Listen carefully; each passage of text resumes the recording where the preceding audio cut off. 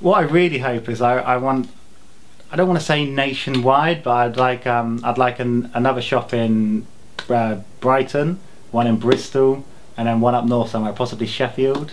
And but in like ten years in Brooklyn, I want a shop in Brooklyn. That'd be my dream.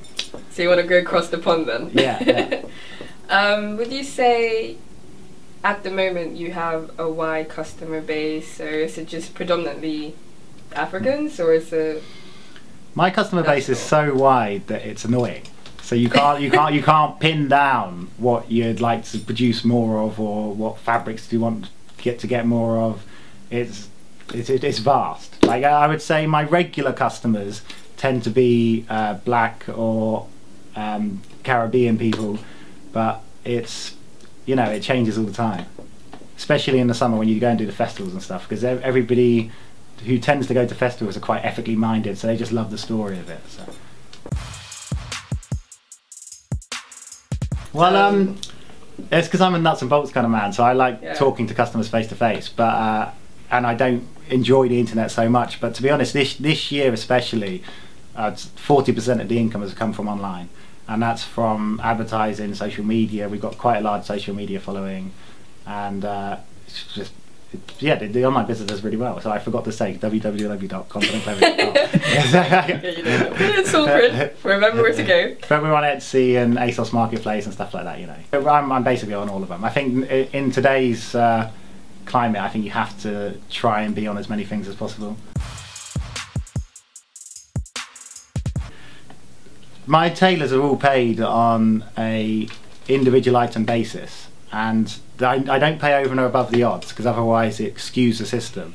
But they work hard and they are getting paid three to four times the average wage. Every single tailor is doing that, and the the stories that have come out since I've been working with them has been amazing. So one guy has extended his shop, one's bought a car, one's bought a plot of land and started building a house, and this this is just from working with us, and it's it's only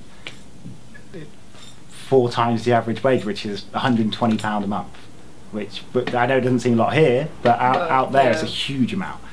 And the things they've done with it. When, to be honest, when I first started, I thought because I, I was just I just studied African development. I didn't really, I wasn't there on a practical basis. I thought people would just fritter away the money on rubbish. But I'd only one tailor, which is, is his choice. Uh, There's only one tailor who's actually just spent the money on random things. Everybody else is you really use the money in a good way. I'd, I'd say I'm involved, uh, highly involved in in every aspect. I, I know every single tailor and apprentice by name, and I'm friends with the main tailors at least. And I, I have lunch with their families when I'm out there, and I, am I'm just involved in every single aspect of the business, which is what I love. But there is that does bring a limitation to how big the business can get, because I, I, I really want that to remain throughout the whole business. So unless someone else decided to run the UK and I just went out to Africa the whole time, which I'd quite happily uh, uh, do, uh, then there's always a limitation.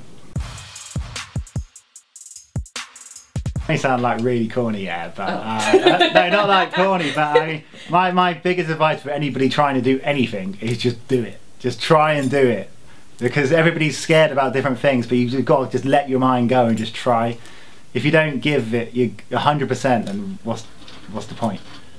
I just think you just need to. If you've got an idea, just go. That's what I did. I just went out to Africa, done, and then uh, and then five years later, you're here. Like you know, I think that that's my only advice to people.